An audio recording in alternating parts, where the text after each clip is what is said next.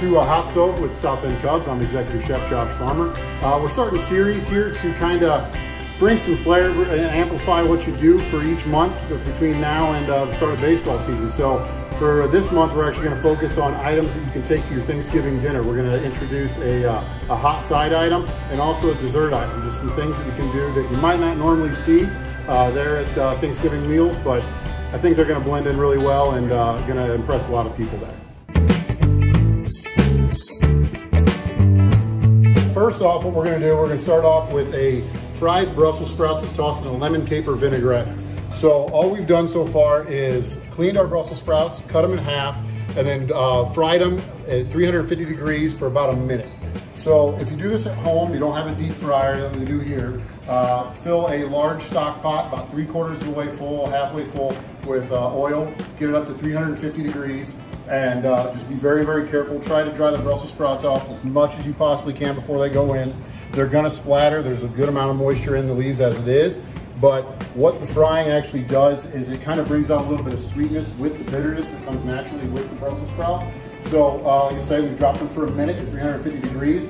Very simple process now. So for our lemon caper vinaigrette, uh, we're gonna start off with a little bit of red wine vinegar. Uh, for vinaigrettes, it's a good rule of thumb. You wanna do three parts um, oil to one part acid. So the acid being your, uh, your vinegar.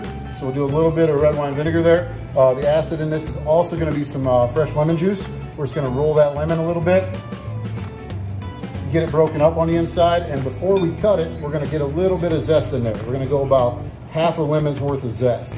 Uh, if you do not have a Microplane, I highly recommend picking one up. Pretty inexpensive. You can get them in any kind of kitchen store or really honestly any major department store will have them as well. But uh, the zest in citrus brings a lot of flavor to the table. It carries all the natural oils. So if you're not really looking at adding the, uh, the, the, tartness that sometimes citrus can bring to the table and just the flavor of it, zest is a great way to go. So we've got about half a lemon zest in there. Gonna split our lemon. Just give it a quick squeeze. Kind of catch it, make sure we're not getting any seeds in there. Oh, we got one.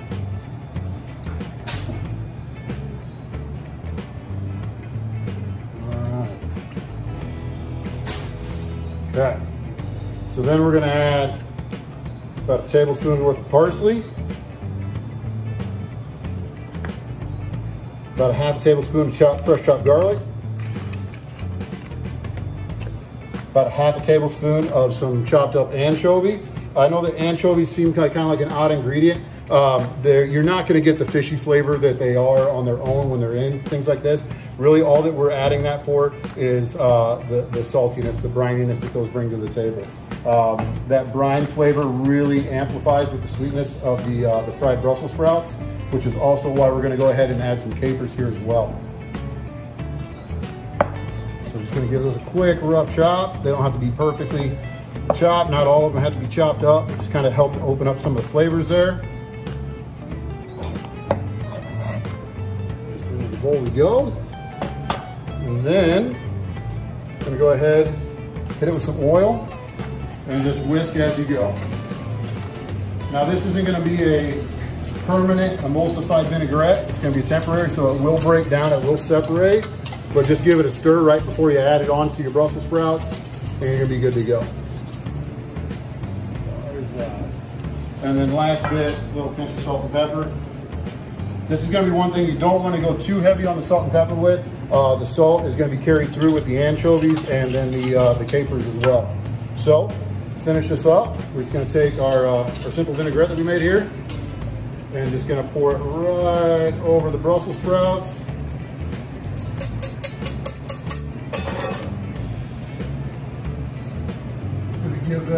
Quick toss here. Definitely check it for seasoning at this point. If it needs some more salt and pepper, go ahead and add it. Uh, it's always good to do when the Brussels sprouts are still warm. It kind of helps to melt that salt onto it and stick a little bit better. Um, and then with this dish, it can actually be something that's done ahead of time. It can be served at room temperature. Uh, or actually you can fry it ahead of time and uh, just don't dress it until you're ready for service. If you want it warm, you can throw it in the oven for a few minutes, be ready to go. So then all we're gonna do is just get it into our serving bowl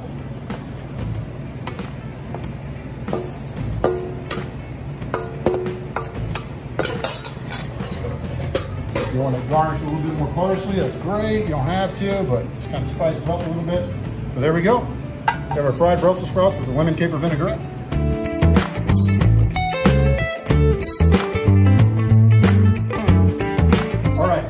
Dish that we're gonna do for our Thanksgiving meal, uh, actually gonna be a dessert. So we're gonna do a, uh, a blueberry compote filled uh, puff pastry. Very, very simple dish. So all we're gonna do is we're gonna take some, uh, some blueberries. Now with blueberries, you can use fresh. For this, I actually prefer using frozen for a couple reasons. One, readily available, you don't have to worry about it. They're ready to go all the time. Two, um, blueberries are one of those things that actually when they freeze, they, they in my opinion, get a little bit better for certain uh, applications. Uh, for this, the sugar kind of tends to um, tighten up and amplify a little bit in flavor, so which is perfect for what we're looking for for this.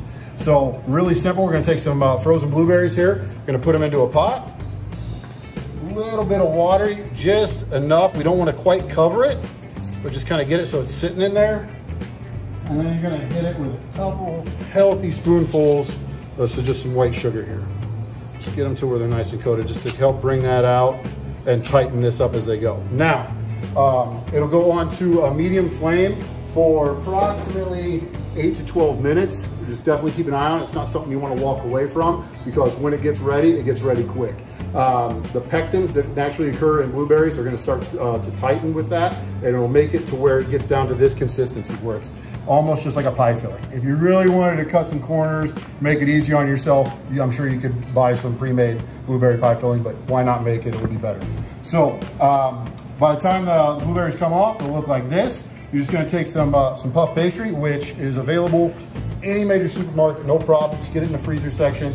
Um, it's the easiest way to work with it and you're good to go. So for this, we're just gonna split it down the middle, stack it on top, split it down the middle again. So you're gonna get four out of each uh, piece of uh, piece of dough here. And then we're gonna take uh, an egg wash, which is just egg and a little bit of water mixed together. This is gonna kind of act like our glue for uh, the pastry so that none of the filling uh, blows out and it all stays together and looks nice and neat. Um, that, we'll just do a couple here. I'll show you a couple different ways to fold it. Really up to you, no right or wrong way. Um, so you're good. Okay, biggest thing when you're filling these is don't overfill it. So um, you just want about a spoonful and a half there. All this information will definitely be available in the recipe, so uh, definitely refer to that. It'll be available on the bottom of the, uh, the screen here. So just gonna fold it over one time and just kind of do like a little, little pop over, if you will. Kind of reminds you of the things you ate as a kid, I'm sure. And we'll just take a fork, crimp that a little bit. Doesn't have to be super pretty, but try and make it look nice and neat if you can.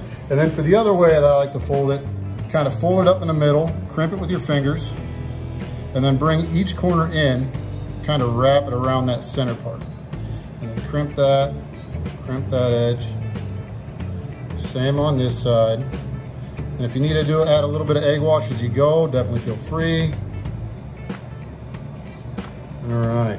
And then all you're gonna do is get it onto uh, a parchment lined uh, sheet tray. You're gonna brush it with a little bit more of the egg wash on top into a 350 degree oven, approximately 18 to 20 minutes. You'll be nice golden brown, ready to go. They'll end up turning out just like this over here. Great thing about these, again, they can be done ahead of time to where they're sitting out room temperature, good to go. If they're served warm, fantastic. You can even throw them in the oven for a few minutes before it's time for dessert at Thanksgiving meal. Um, if not, they can go out perfectly fine just like this.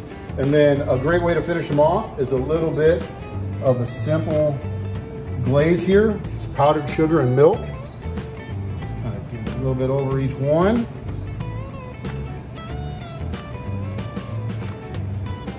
And then, never go wrong finishing it off with a couple scoops of vanilla ice cream. Thank you very much for tuning into this episode of Hot Stove with South Bend Cubs. Look at the bottom of the video for all recipes. Please follow South Bend Cubs on social media for all future updates. We look forward to seeing you here next time on Hot Stove with South Bend Cubs.